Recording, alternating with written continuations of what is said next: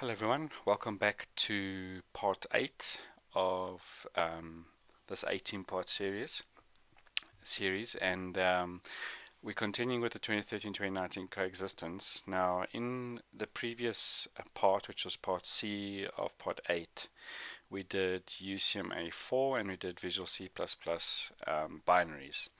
Now what we're going to do is we're going to prepare AD and prepare schema and then we'll obviously move on to the installation. So I mounted my ISO to the E drive. You can see I changed to E. And I'm, gonna, I'm now going to run this command setup space forward slash prepare AD forward slash I accept exchange server license terms because I'm installing a new version. So what this does now is it'll go and basically um, copy all the installation files like it looks like a normal setup basically except it's just going to be doing the part of preparing AD and nothing else.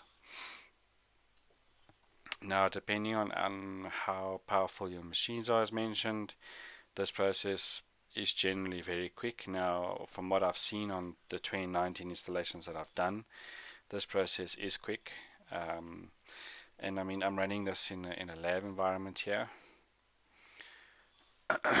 and it might take a couple of minutes so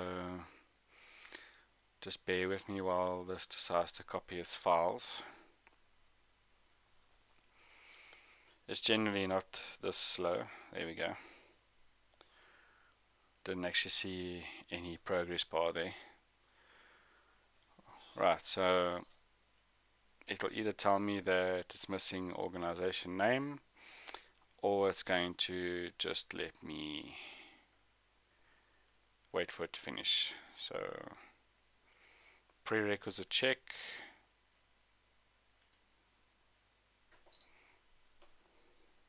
Okay. So you can see by the warning it's saying that it'll prepare the organization for 2016 so no 2016 sorry for 2019 no 2016 servers um, have been detected and after this operation you'll not, not be able to install any Exchange 2016 servers. So just be aware of that. So if you wanted to double hop, then you sh you should have installed 2016 first, after 2013, and then 2019. But that just doesn't make sense. Um, no no reason to do that unless you wanted to fall back to 2016 for whatever reason. But this process um, is relatively quick.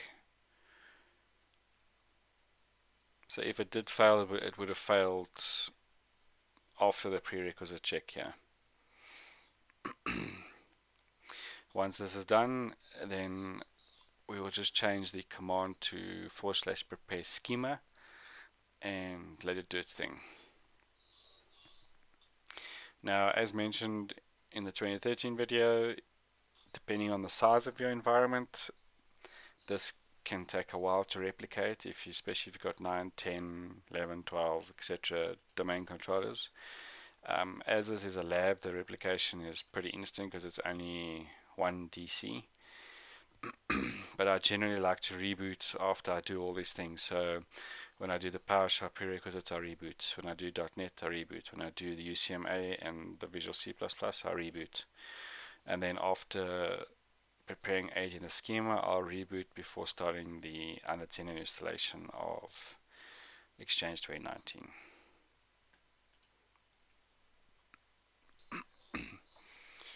So it should almost be done. It goes pretty quick after this.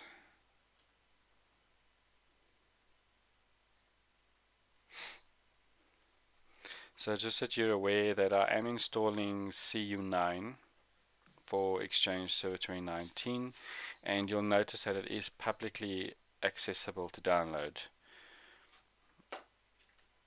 It's not, um, you can get it in the Volume Licensing Center MSDN as well, but you can download CU9 now directly from the internet without any issues.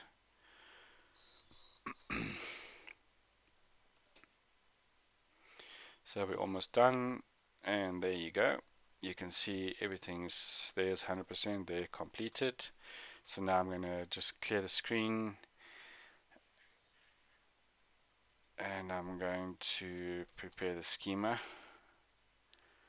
So it's going to basically do the same kind of thing copy the files and then once it's done it'll do its check and then it will start with the schema. So file copy is done as you can see and this is not too shabby for a lab machine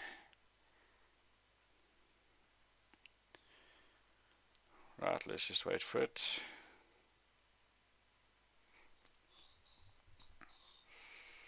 Okay prerequisite done.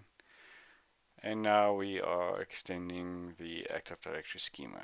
So I'm not going to keep you hanging on the line while this does its thing because uh, the last time I did this 2013 it took an extra 15 minutes 10-15 minutes. So we are basically now done with the final part of the preparations to install Exchange Server 2019 so I'm going to reboot as soon as this is done and then I'll see you in the final part of part 8 to install Exchange 2019 from the command line, no GUI interface like we did with 2013. And once that's done, we basically have coexistence running. So see you in the next part. Thank you very much for watching.